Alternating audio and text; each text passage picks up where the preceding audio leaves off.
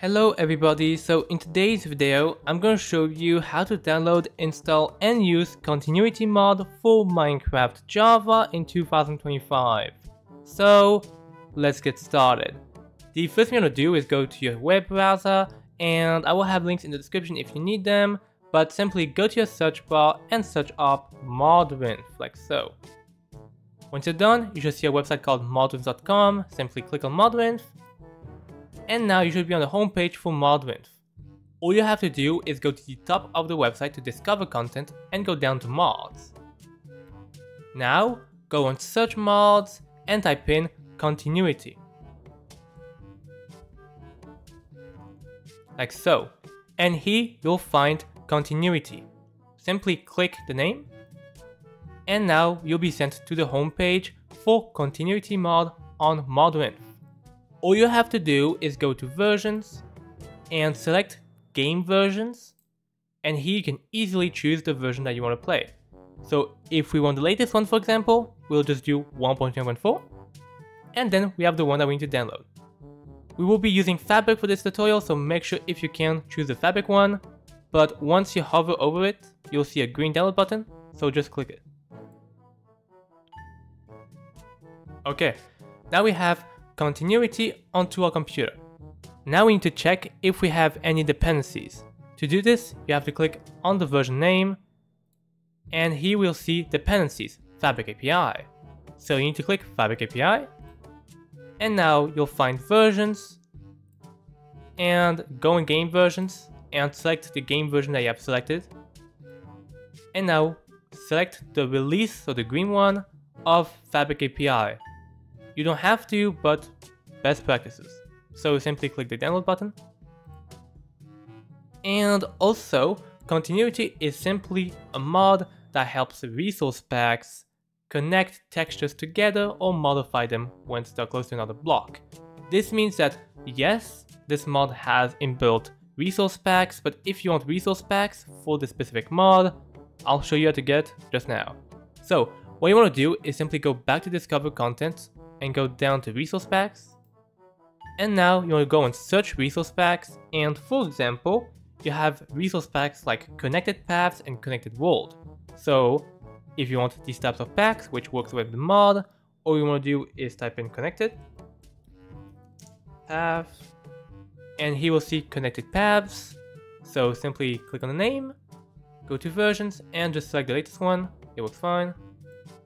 And if we go back to resource packs, you can do the same thing for connected world. Now obviously there's more resource packs for this, it is just some examples that I have right here. Versions, and select the latest one, it's fine. So, now what you want to do is simply go and download Fabric Minecraft because we cannot run these two mods here if we don't have Fabric Minecraft. And to get Fabric Minecraft, simply go to a new tab and search up Fabric Minecraft, like so. Once you're done, you should see fabricmc.net, simply click on the name, and now go on the blue download button, and go on the download for Windows button. Now you have Fabric installer, resource packs if you want, and the two required mods. So, all you need to do here is simply close your web browser, and now you can open up your downloads folder by accessing your file explorer and then your downloads folder. Now, all you want to do is simply double click Fabric installer, make sure that the Minecraft version is the same as the mods, if it is, just do install. Okay, and close. Now, you have to go to your Minecraft launcher, and you want to wait for this one to load up, because we need to add our resource packs and our mods to the .minecraft folder. Here we can see we have Fabric Loader, all good, and we simply need to go to installations on the top of the launcher, we need to hover over Fabric, and go to the folder icon.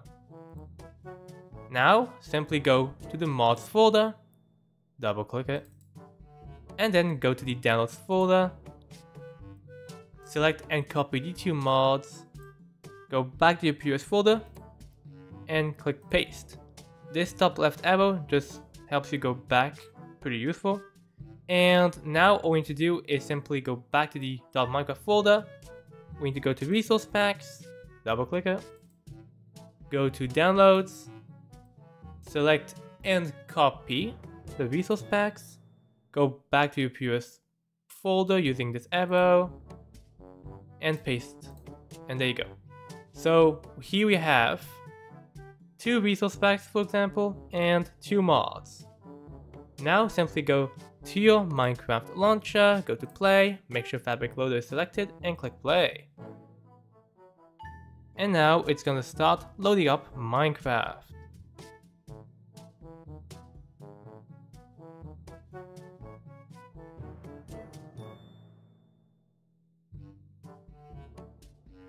Okay, so once we have Minecraft, all we have to do is simply go to a world. It can be anything. I'll just do a single player world, for example.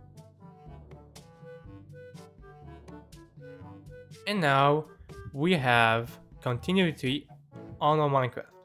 Now to use it, it is quite simple. It requires texture packs and resource packs and as we already have them and as it comes with Minecraft, like the actual mod, I can show it. So, for example, to activate these resource packs, just do escape, options, resource packs, and we have all of these. These come with the mod, these are the ones we got. So, for example, if we just use the mod ones, nothing will change visually just here because it's mainly with glass. That's why we have other ones. So, here it connects the textures, like so, and if I turn it off, you'll see the difference. There you go. Here we have the actual blocks. So for glass, having this default one here does help quite a lot. Because it just doesn't have any weird glitches and stuff. Because the thing with Minecraft glass is that it does have continuity mod technically, but not. So for example, if I remove this, we won't be able to see the block coming in here, making it a bit weird to look at. So, what we can do now is activate the other resource packs. Like this one. This one, both of these do the, basically the same thing, just have a different style. For example, here we, we don't really look at glass anymore, we just look at the actual floor. This makes it a bit more connected, a bit more realistic. Like so. And the other one is basically the same thing but has a different style to it. I will have both of these in the description if you're interested, of course. And for the glass, for example, you can have this one and have the glass on top, and this will do exactly that. It will have connected textures here, and you will also have your glass like so. So yeah, in today's video, I showed you how to download, install and use Continuity Mod for Minecraft Java in 2025. So if you liked this video, make sure to like and subscribe and see you for the next one. Bye!